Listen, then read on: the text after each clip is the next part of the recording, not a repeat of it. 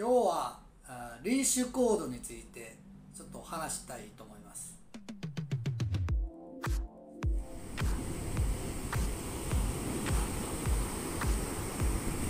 皆さんこんにちは。ボーズサーフの杉本です。今日はあリーシュコードについてちょっと話したいと思います。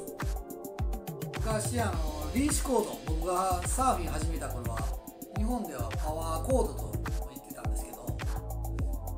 パワーコードといっても世界的には通用しないんでリーシュコードもしくはレッグロープっていうのが世界的な名前通称ですね。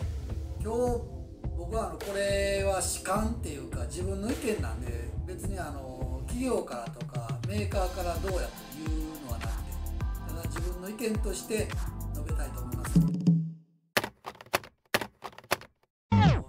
今僕が使っているバリで使っているリーシュコードですけども、えーこれです。クリエイチャーズ。のこれ、えっと、6フィートですね。でノーマルといって。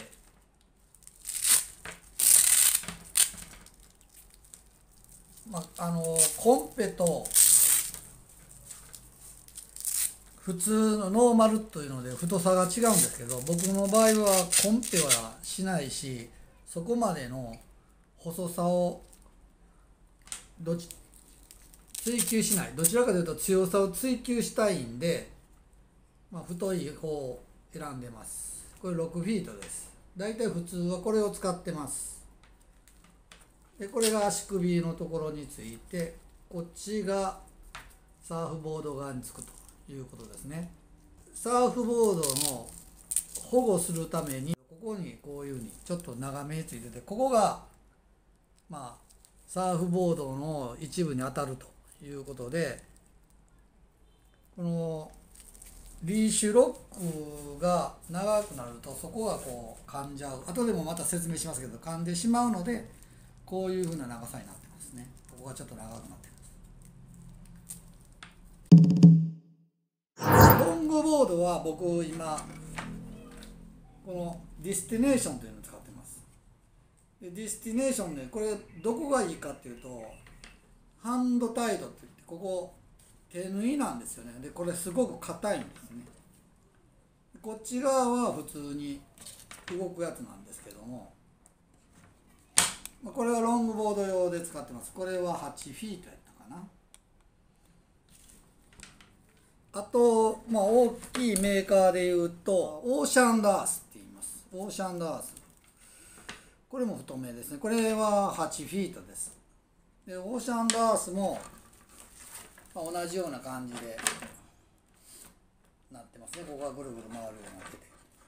こちらが FCS で。FCS ってあのフィンメーカーで有名なんですけど FCS からも出てみまして、まあ、みんな同じ作りなんですよね。ここが回ってて。で足元の方も回ると。ボードの方も回るという形になってます。一つちょっと違うのがありましてね。まあ、今回僕が一番おすすめしたいっていうかこのマークなんですけどね、まあ、簡単にカーバーって言うて僕らよく言ってるんですけどもこれはね両方ハンドタイドなんですよね。これすっごい強いんですよね。でこれ見てもうたら分かるかな。これちょっとの太さも違うんですよね。これこれ6フィートの普通のショートボード用なんですけど。太さも違うんですよね。でここの縫い方もすごい強固で、まあ、ちょっとねじれには弱いんですけど、まあ、ねじれはあのワイプアウトしたりとかプルアウトした時にボード離れたら伸びていくんでそんなに気にする必要はないと思いますね。一応中であのスイベルって言って回るようにはできてるんで。これが一番おすすめですね。これちょっと日本ではあんまり入手できないんですけどね。入手できても結構高いんですよね。ここで買って1万円弱ぐらい。だからこのリーシュコードで78000円かな今。だからちょっと高いんですよ。23000円。だからリーシュコードで2 3 0 0円高いっていうのはちょっと大きく差が出ますよね。まあ、でも僕の場合はその耐久性とか大きい波でその揉まれたりとか、まあ、そういう時にボードが離れない、まあ、離れてしまう時もあるんですけど切れて。切れた時に別としてなるべく切れてほしくないので強めのボード強めのコード接着部分とかいうことで考えてます。参考なんですけど僕何回か切ってるんですけどもこの接続部分のところここが劣化したりとか力に負けてこう折れちゃうんですよね。これもそうですしこれもそうなんですよね。でまあ結局これウルワツとどこやったかな。オールトマンズやったかな。で切れたんですけど、まあ、ボディーサーフィンして帰ったんですけどね。ボディーサーフィンできたらまあ切れても、まあ、しんどいですけど、まあ、なんとか帰ったという感じなんですけどなるべく切れてほしくないし切れないようにプルアウトとかは気をつけてるんですけどもどうしてもプルアウト失敗したりとかワイプアウトした時はリーシュコードが頼りになりますんで。リーシュコード、えとても大事なんで皆さんもあのもし入手可能ならこれが一番おすすめです。シュコードと同じように大事なのが、リーシュロックってあのリーシュコードとサーフボードをつないでる部分のコード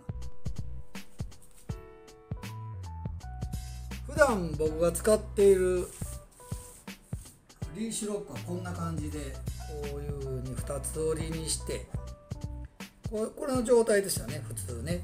この状態を中通して2つ折りにしてここで通します。これでリーシュコードを固定しますとこ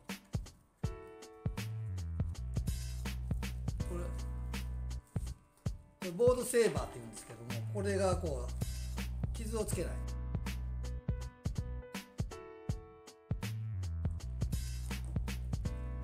長くするとこうやって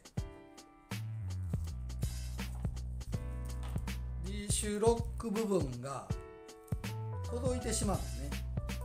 角に。そうするとこれでぐさっと入ってしまう時がある。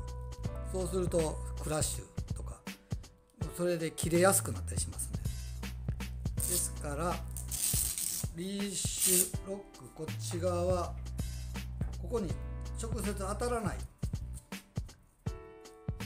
セーバーが当たるようにするというので僕は二重にしています。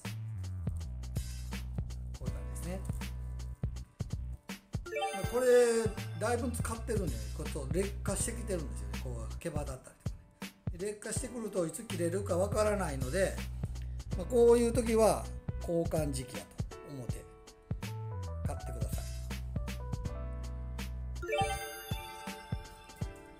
こういうリーシュロックも市販されてるんですけどもこれ僕も何年か前まで使ってたりしたんですけどこれ一番切れやすいです。だから僕はおすすめしません。これのね切れやすいしねここのね接合部分がね剥がれたりするんですよね。まあ、バリの波強力なんでね引っ張る力が強いから余計に切れやすかったのかもしれないんですけど僕3本ぐらいボードをこれで使ってたんですけど全部切れましたね。で今はこれはちょっと使ってたんですけど危ないなということでもう使わなくなって一応お蔵入りみたいな感じなってます。